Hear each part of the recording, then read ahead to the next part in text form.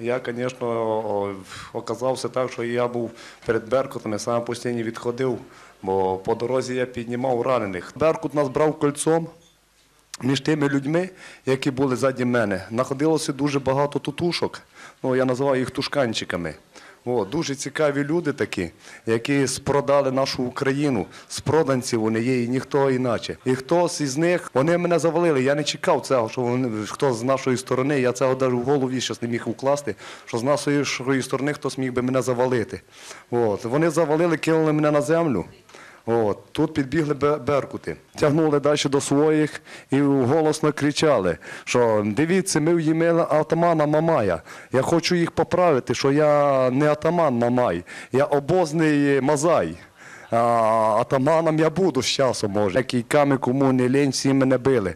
От, кидали, робили мені е, калідор, е, через який я должен був пробігти через той калідор. Ну я дурак, що ли, бігати поміж ті калідори. Бігти, що я маю перед вами падати на коліна. Вони таким образом хотіли зламати дух і гідність мою, і всього народу показати.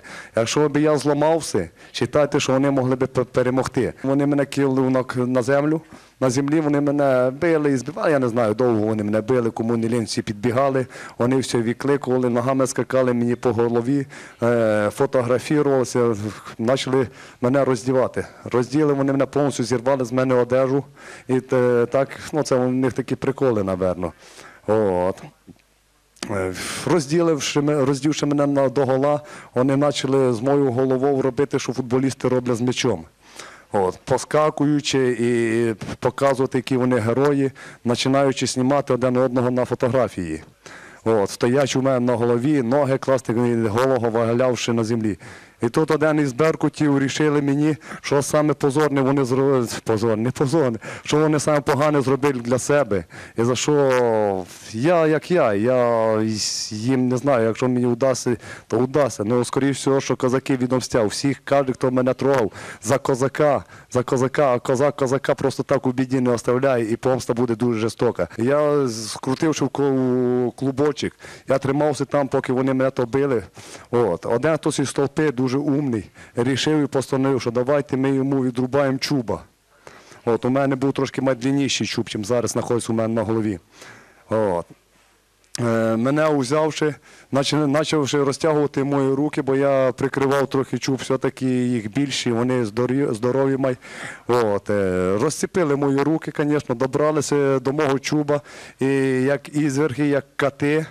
Раз відпилили кусок чуба, другий раз відпилили кусок чуба. От, таким образом вони мене лишили без чуба.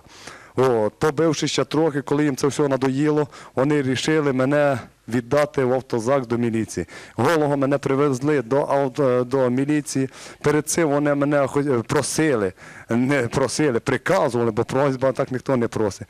От, е, приказуючи мені, щоб я почав кричати, як я їх люблю, що я, звісно, не та людина, хто склоню голову перед ними. Посадили мене в то відділення автозак, і там ще був один чоловік який подивився на мене, і що я голий, а він мав лишню куфаючку на собі і лишні штани ватні.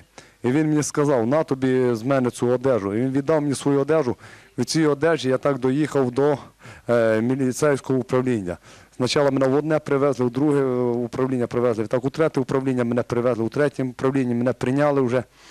От, е, ну, мені з в ньому від перебування в цій машині, від того, що мене такі трошки пофутболили, трошки покатували.